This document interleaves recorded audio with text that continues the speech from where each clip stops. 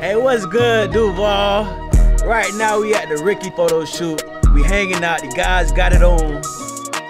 They, they asked us to come here, put on all black, and put that yeah on. We came here, we did that, check that off. Gotta look good, check that off too.